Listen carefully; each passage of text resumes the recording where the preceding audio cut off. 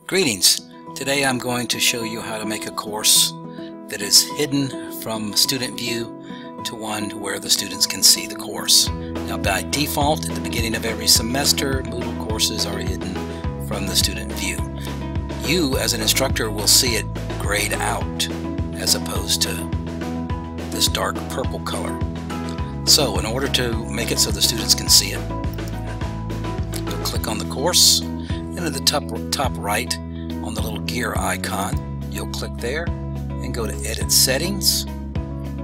And here on the fourth item down, it says Visible, Hide. We'll simply click there, select Show, scroll to the bottom, Save and Display, and the course is now visible to students.